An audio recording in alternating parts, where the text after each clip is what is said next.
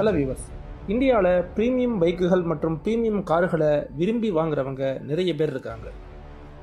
Battery பைக்குகள்லேயே ப்ரீமியமான bike அப்படின்னா அது ultra violet electric பைக்குகள் தான்.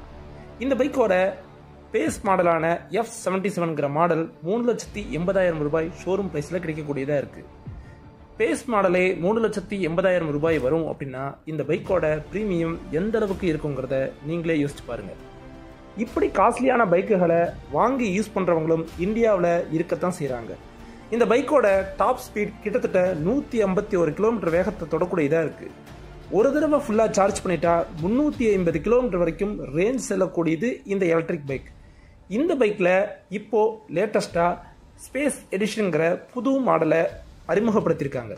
இந்த ஸ்பெஷல் ஸ்பேஸ் எடிஷன் மாடலில் வெறும் பத்து யூனிட் பைக்குகள் மட்டும்தான் விற்பனைக்கு வர இருக்குது பேஸ் மாடலை விட அதிக காஸ்ட்லியான இந்த ஸ்பேஸ் எடிஷன் மாடலை பற்றிய முழு விவரங்களை இந்த வீடியோவில் பார்ப்போம். வாங்க வீடியோக்குள்ள போகலாம்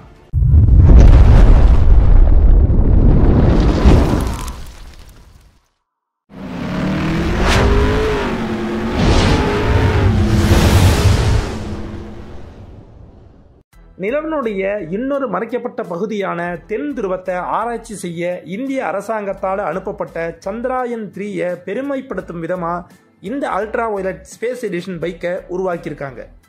ஒரு விண்ணுக்கு செலுத்தக்கூடிய விண்கலத்தை எந்த அளவுக்கு உயர்த்தரமாக உருவாக்குவாங்களோ அந்த அளவுக்கு உயர்த்தரமாக இந்த பைக்கை உருவாக்கியிருக்கோங்கிறத இந்த பைக் நிறுவனம் தெரிவிச்சிருக்காங்க.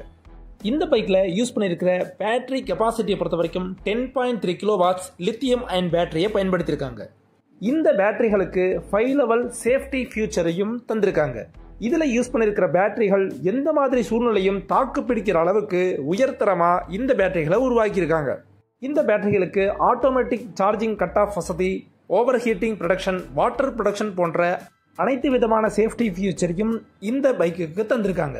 இந்த பேட்டரியை ஒரு தடவை ஃபுல்லாக சார்ஜ் பண்ண நான்கு மணி நேரம் வரைக்கும் டைம் எடுத்துக்குது. ஃபாஸ்ட் சார்ஜிங் வசதியும் இருக்குது ஒரு தடவை ஃபுல்லாக சார்ஜ் பண்ணிட்டோம்னா முந்நூற்றி ஐம்பது கிலோமீட்டர் வரைக்கும் ரேஞ்ச் செல்லக்கூடியதாக இருக்குது இந்த எலக்ட்ரிக் பைக் இந்த பைக்கில் யூஸ் பண்ணியிருக்கிற permanent magnet AC motor thirteen thousand two hundred watts motor பவரையும் hundred NM டார்க்கையும் ப்ரொடியூஸ் பண்ணக்கூடியதாக இருக்குது டூ பாயிண்ட் நைன் செகண்ட்ஸில் சிக்ஸ்டி கிலோமீட்டர் ரேஞ்சை தொடக்கூடியதாகவும் எயிட் செகண்ட்ஸில் ஹண்ட்ரட் கிலோமீட்டர் வேகத்தை தொடக்கூடியதாகவும் மணிக்கு சுமார் நூற்றி ஐம்பத்தி ரெண்டு கிலோமீட்டர் வரைக்கும் வேகம் செல்லக்கூடியதாகவும் இருக்குது ஆட்டோமேட்டிக் கியர் பாக்ஸ் மூலமாக இயங்கக்கூடிய இந்த எலக்ட்ரிக் பைக்குக்கு கிளிக் கம்பேக்ட் பேலிஸ்டிக்ங்கிற மூன்று ரைடிங் மோடுகளை தந்திருக்காங்க.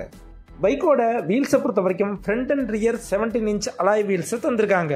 பிரேக்ஸை பொறுத்த வரைக்கும் ஃப்ரண்ட் அண்ட் ரியர் டிஸ்க் பிரேக்ஸும் ஏபிஎஸ் பிரேக்கிங் சிஸ்டத்தோடையும் தந்திருக்காங்க. இந்த பைக்கோட டிஸ்பிளே பொறுத்த வரைக்கும் உயர்தரமான டிஎஃப்டி டச் டிஸ்பிளேவாக தந்திருக்காங்க.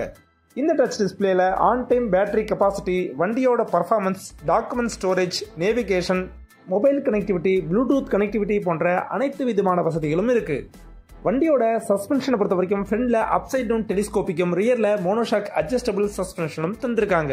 பைக்ல யூஸ் பண்ணியிருக்கிற அலுமினிய பொருட்களுக்கு த்ரீ டி லேசர் கட்டிங் தந்திருக்காங்க. பைக்கோட பிளாஸ்டிக் பொருட்களோட தரம் தொட்டு பார்க்கும் போதே இது எந்த அளவுக்கு காஸ்ட்லியான பைக்குங்கிறத எடுத்து காமிக்கக்கூடிய அளவுக்கு சூப்பர் ப்ரீமியமா இருக்கு.